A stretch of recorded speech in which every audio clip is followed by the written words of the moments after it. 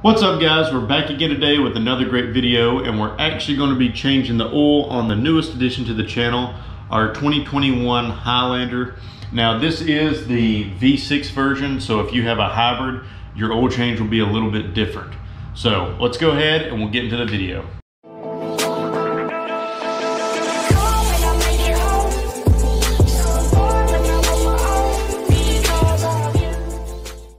All right guys, so like I said before, this is the V6 model.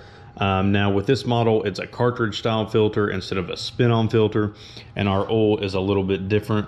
Um, so we're using 0W20 for the V6 model. I believe the hybrid model is like the 0W16. It's the hybrid model oil, so it's a little different. Um, so let's walk over here and we'll check out the tools that we're actually gonna use for this project. Um, so First and foremost, like I said, this is a cartridge style filter, so it looks like this rather than your normal spin-on filter. Um, here is the part number for it. Um, I'm actually using an OEM filter just because honestly the price is not that bad at all. I can actually pop that up down in the corner right here right now what I paid for these. Um, and one good thing is where you're actually having to change the O-rings and stuff right here, you know it's the same ones that came from factory with. Sometimes the aftermarket filters o-rings might be you know they could be better or they could be worse. But where our car is a brand new car i just want to make sure i use the toyota stuff in case there's any warranty issue i can show hey i've been using your parts.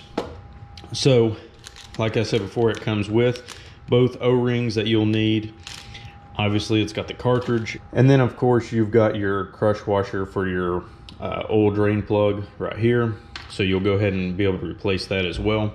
Um, and then this is the piece that you'll actually pop up into the cartridge to let it drain out. Some other tools that you'll need, you'll need this tool, which is actually meant to take the um, cartridge style filters off because um, like the housing itself is actually built in um, kind of like built into the car, I guess you could say. Um, and then this filter just slides in where the screw on, you're replacing the whole filter and the housing and everything. Um, now this one, as you guys can tell, I'll actually put a link below for this one. Um, I got it straight off Amazon. I went to the Toyota dealership to, to the parts guy. They actually will not sell theirs anymore because theirs have ears on them. And the ears that are on their style tool will actually break uh, the housing because it, your housing is a plastic housing.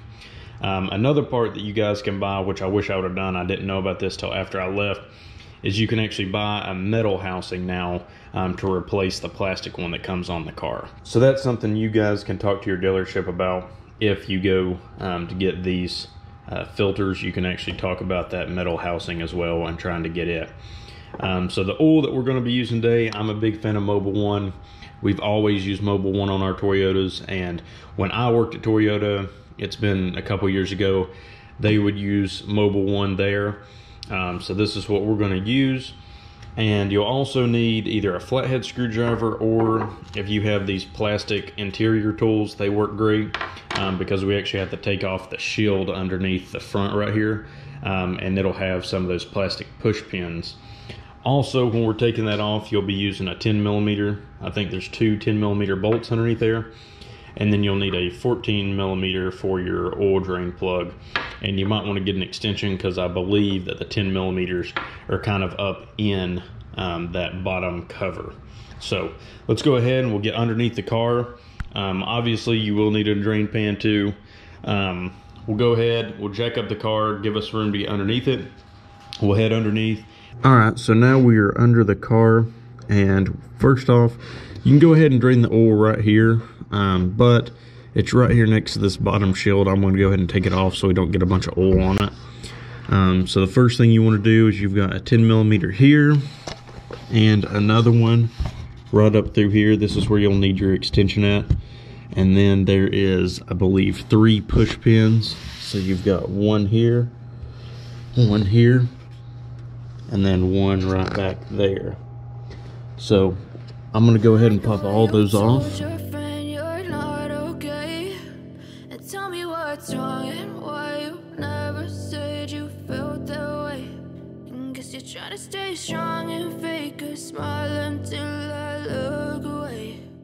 Alright, so now that we've got that panel off, as you guys can see we can get to the cartridge filter right here and we can get and we can drain our oil right here.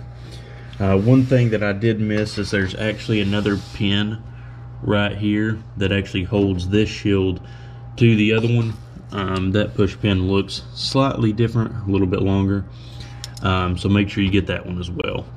So now I'm going to go up here get my drain pan and we'll start draining the oil. And this bolt will be a 14 millimeter. So we'll jump back into the time lapse. We'll let this I'll break it loose let it drain out and then we'll go ahead and get our cartridge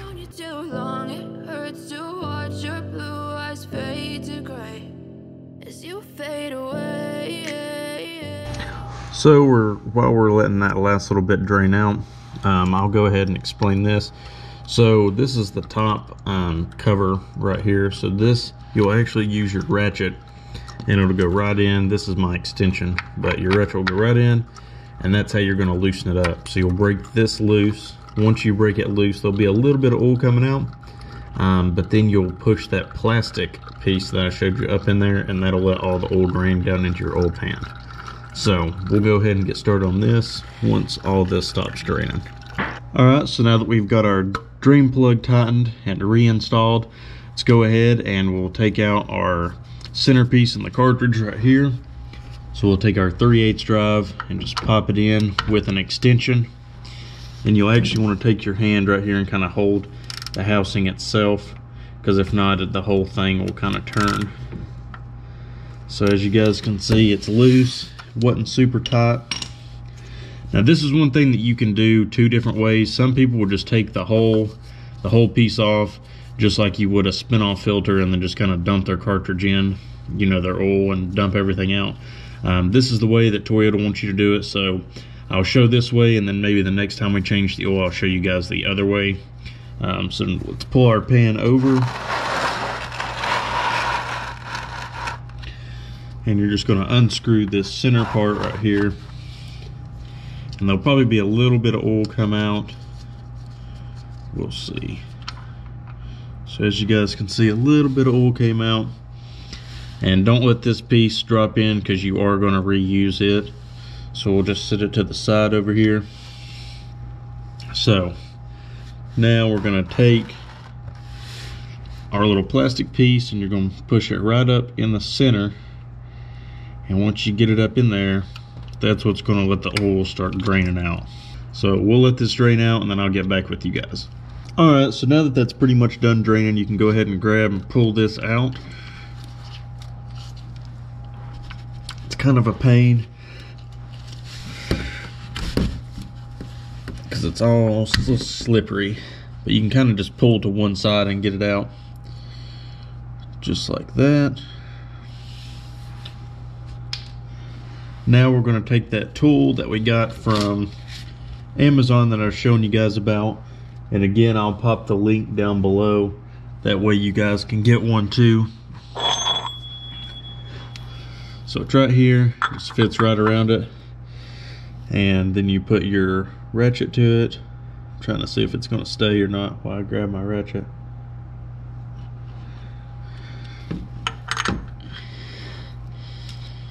and the end on it is a half so I'm gonna have to go get my half inch ratchet instead alright so I got my half inch breaker bar here and we're just gonna take just loosen it up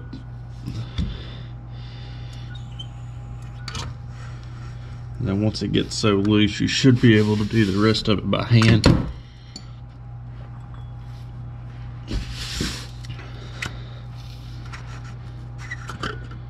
just like that. So as you guys can see, there's your old oil filter. All right, guys, we're back. Sorry, the camera died in the middle of the last clip. But anyway, here's your old filter, as you guys can see right here. Here is the housing itself. Now this, you kind of want to make sure you get it good and clean. Um, just kind of clean it out.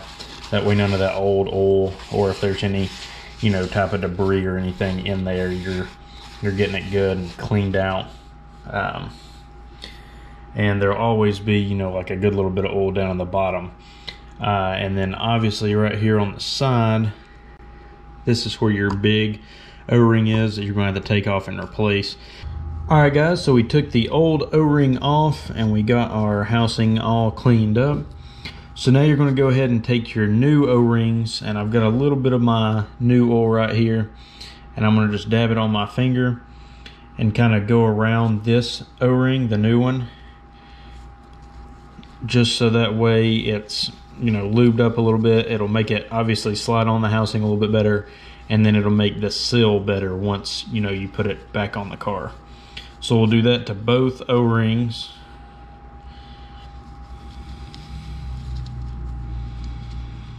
Just like that. Okay, so now you're going to want to take the O-ring and go ahead and place it over the housing and slide it down.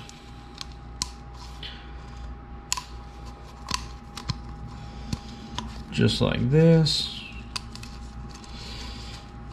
As you guys can see, it's right there. You don't take it all the way to the bottom. You put it one notch up from the bottom right here. Just like that. And then you're gonna take the smaller O-ring, which is this one, and you can actually just sit it right there, like so. And then you're gonna take the first part that we take took off of the housing and screw it in you can kind of just hand tighten it and then just make sure that your gasket's sealed good. You can kind of look through the sides right here. And then now we'll flip it back over and your filter it doesn't matter which way it goes you just slide it on. Just like so. And then a lot of people what we'll do is we'll actually pour some of our new oil down in here and you're kind of priming this new filter in a way um, so the filter's not empty when you start the car. Like I said before, kind of prime our filter. I'm just going to pour a little bit down here in the center. And as you guys can see, it's kind of draining down into it. Just like that. All right, so we're underneath the car now. And you also want to kind of wipe in here just to get all the old oil out. So we're just going to take, slide it right up on, and start hand tightening it.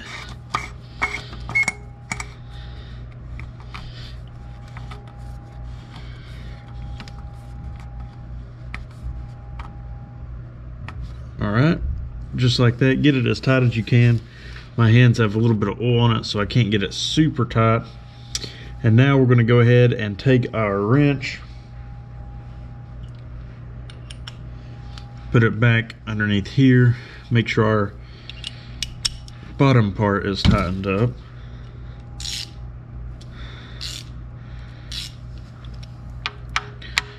Just like this, and you wanna tighten this until the housing itself starts to turn.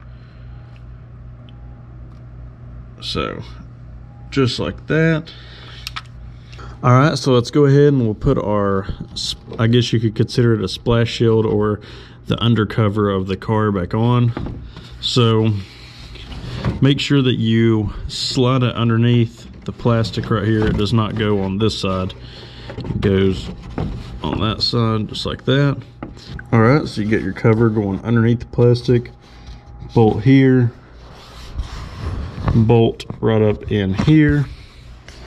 You got your first push pin right here. Your second push pin there. Third push pin here. And then you got your long, the longer push pin right there that connects the two together. So now we can let down the car and add our oil.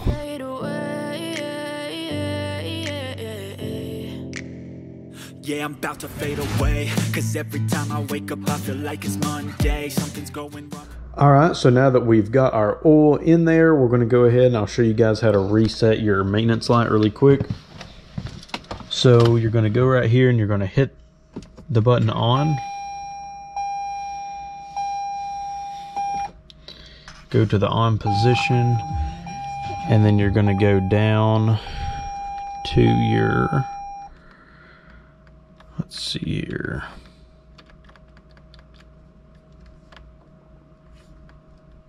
you're going to go to the gear right here and you're just using your buttons over here and then you're going to go to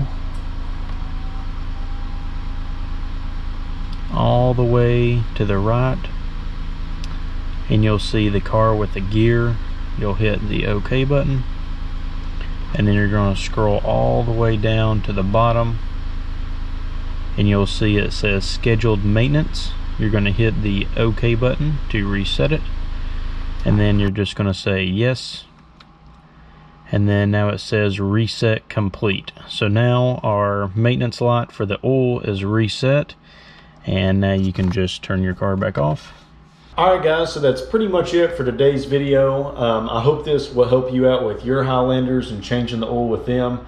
This was actually the first time I had ever done a cartridge oil filter um, because my TC, the Corolla, and then my parents' car, the Tacoma and the 4Runner, all those just have the spin-off top. Um, in my opinion, I kind of like the spin-off top because you can just get rid of the whole filter. It's a lot easier. You don't have to do a lot of that cleaning and there's kind of some extra steps to this, but it's not a big deal. You guys can do it. Um, I got full faith in you. Um, but anyway, I hope you like this video. If you would, please hit the like button and subscribe to the channel because we are going to have more stuff coming for the new Highlander.